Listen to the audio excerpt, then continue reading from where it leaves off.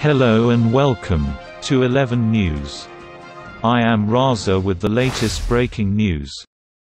Several prominent personalities including Amazon chairperson Jeff Bezos, Microsoft co-founder Bill Gates, former US President Barack Obama were targeted by hackers on Twitter in an apparent Bitcoin scam. Twitter accounts of U.S. election 2020 candidates including Joe Biden, Mike Bloomberg, and Kanye West, were hacked as well. Accounts of Warren Buffett, Elon Musk, Apple Inc., Kim Kardashian, and Uber were also hacked in this high-profile breach. A tweet, requesting donation in cryptocurrency, was tweeted from all these accounts.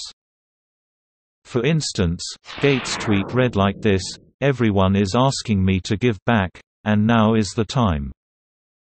I am doubling all payments sent to BTC address for the next 30 minutes.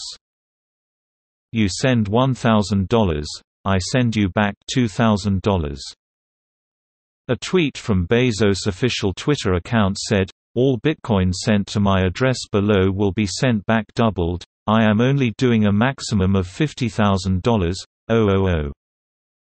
The tweets were deleted minutes after they were first posted. The Biden campaign said Twitter had locked down the account within a few minutes of the breach and removed the related tweet. Later, Twitter CEO Jack Dorsey said tough day for us at Twitter. We all feel terrible this happened. Dorsey added, we are diagnosing and will share everything we can when we have a more complete understanding of exactly what happened.